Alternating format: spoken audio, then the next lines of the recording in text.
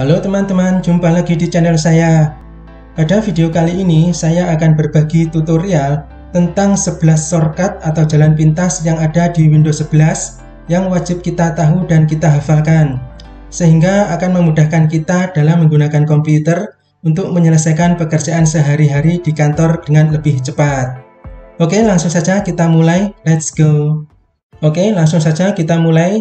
Shortcut pertama yang akan kita coba adalah logo Windows plus huruf S. Jadi teman-teman tekan logo Windows di keyboard bersamaan dengan huruf S dan akan memanggil search.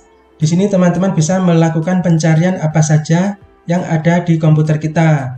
Teman-teman bisa melakukan pencarian application, dokumen, web, atau jika teman-teman ingin mencari lebih banyak lagi, teman-teman klik di bagian more dan tentukan kategori apa yang ingin teman-teman cari. Misalkan email, folder, music, people, foto, setting, atau video. Shortcut nomor 2 adalah logo Windows plus huruf W. Seperti ini, maka akan membuka widget. Di sini ada beberapa widget yang teman-teman bisa lihat dan teman-teman juga bisa menambahkan widget-widget yang lainnya sesuai dengan kebutuhan. Selanjutnya, shortcut nomor 3 adalah logo Windows plus Shift dan huruf S secara bersamaan. Seperti ini, maka dia akan membuka tool untuk screenshot. Di sini ada beberapa menu screenshot yang bisa kita lihat, ada rectangle, freeform, Windows snip, dan full screen. Kita akan mencoba yang freeform seperti ini, kita klik dan kita bisa men-screenshot sesuai dengan keinginan kita. Contohnya kita akan men-screenshot gambar ini. Jadi misalkan teman-teman ingin men-screenshot screenshot gambar yang bentuknya tidak utuh atau tidak persegi, maka teman-teman bisa menggunakan freeform. Dan hasilnya akan seperti ini. Setelah itu teman-teman bisa menggunakan image yang sudah kita screenshot untuk kebutuhan-kebutuhan kita. Selanjutnya shortcut nomor 4 adalah logo Windows plus huruf V. Seperti ini. Dan di sini kita akan memanggil clipboard. Dengan clipboard ini kita bisa melakukan copy paste banyak item dengan lebih cepat dan lebih efisien. Seperti yang ada di tutorial saya sebelumnya. Selanjutnya, shortcut nomor 5 adalah logo Windows plus huruf H. Dan dia akan membuka voice recognition seperti ini. Contohnya seperti ini, teman-teman membuka voice recognition dengan logo Windows plus huruf H. Kemudian teman-teman juga membuka aplikasi Notepad. Kemudian teman-teman klik di bagian mikrofon dan otomatis voice recognition ini akan menulis atau mengetik apa yang kita ucapkan. Namun sepertinya dia hanya mendeteksi untuk bahasa Inggris. Bisa kita coba. Kita klik di notepadnya. Good morning, How are you today? I'm fine, thank you. Dan ketika kita berbicara dengan menggunakan bahasa Inggris, maka voice recognition ini akan otomatis langsung menulis di notepad. Ini sangat berguna sekali ketika mungkin teman-teman meeting offline dengan rekan-rekan yang dari Inggris atau dari luar negeri sehingga kita dengan mudah mendeteksi apa yang mereka ucapkan. Jika mungkin pendengaran atau listening kita kurang tajam. Selanjutnya, shortcut nomor 6 adalah logo Windows plus semicolon atau titik koma. Seperti ini, dan dia akan membuka emoji.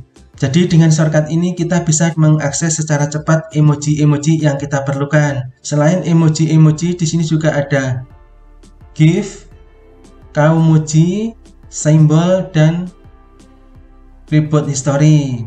Jadi teman-teman bisa menggunakannya sesuai dengan kebutuhan.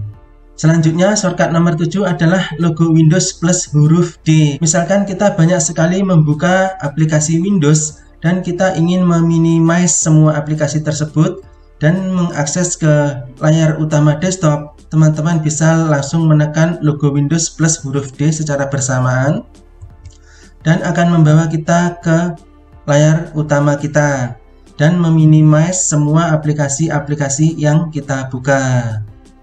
Selanjutnya, shortcut nomor 8 adalah logo Windows plus huruf L.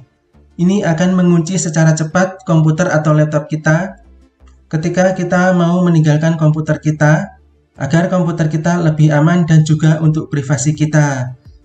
Dan ini juga biasanya termasuk bagian dari information security di perusahaan-perusahaan. Jadi kita tidak diperbolehkan untuk meninggalkan komputer kita dalam kondisi keadaan tidak dikunci.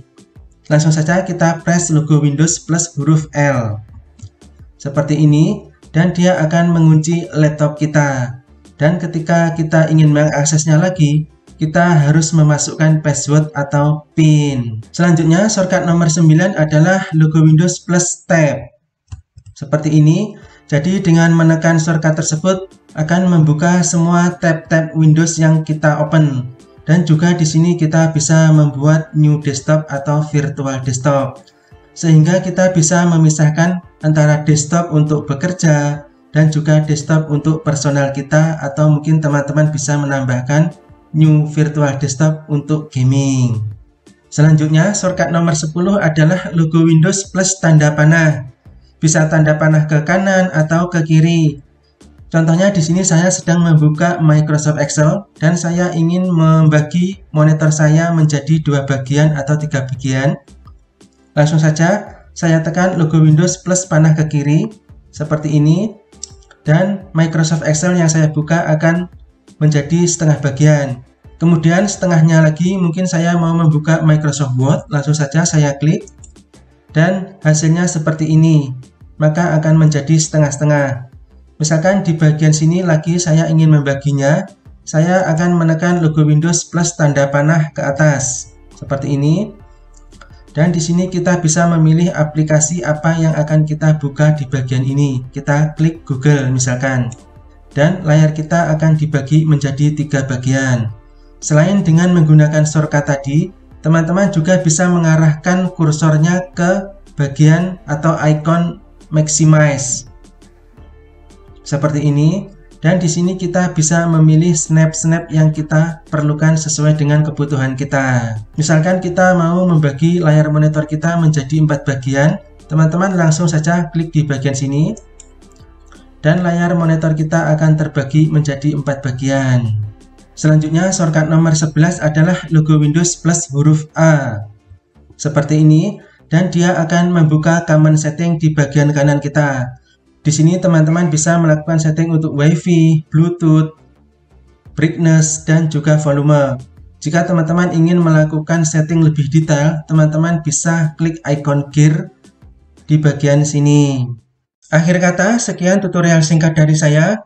Mudah-mudahan bermanfaat. Jangan lupa untuk klik like dan subscribe dan juga menyalakan tombol loncengnya agar teman-teman tidak ketinggalan video-video terbaru dari saya. Terima kasih dan sampai jumpa di video berikutnya.